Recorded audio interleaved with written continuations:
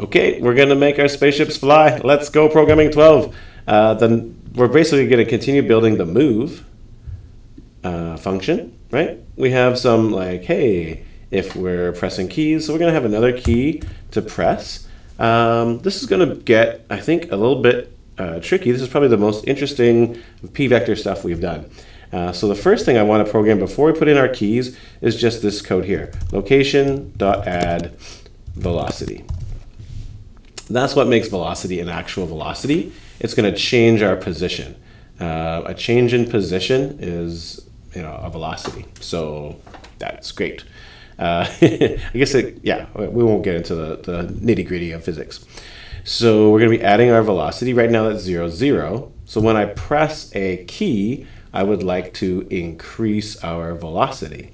So if I press the up key, let's say up key is like throttle forward.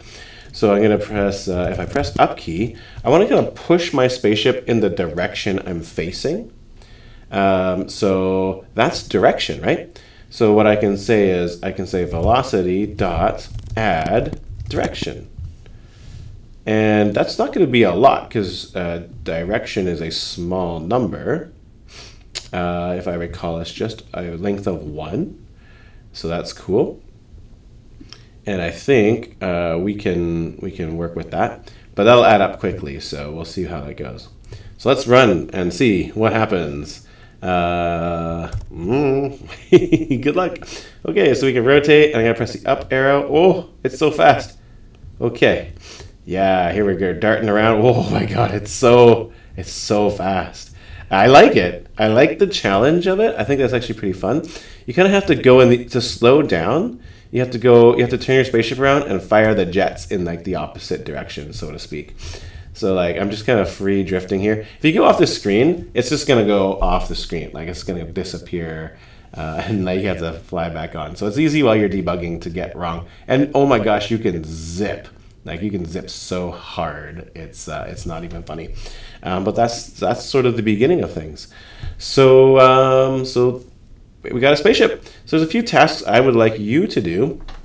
I would like you to think about how is it that you could um, limit the speed of the spaceship, or um, and maybe like get it a little less janky in terms of its like rapid acceleration like maybe our direction's too big or something in terms of its magnitude.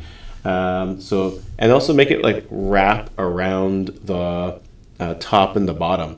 So instead of flying off into space, make it so that when the spaceship hits the top of the screen, it shows up at the bottom of the screen. And if it goes off of one, you know, um, edge uh, left or right of the screen, it, it goes to the other make it kind of wrap around universe because that's a classic aspect of asteroids. Uh, you can use, um, you know, have to use vectors in order to make this all work, but the logic I think is very similar to even going back to the clicker game, that kind of information. So again, uh, wrap around world, try to get your um, acceleration a little more manageable, I guess is, is a good word for it. And um, yeah, get your spaceship looking the way you want it to. Okay, so there you go. That's our spaceship. We made it work. Thanks so much, everybody.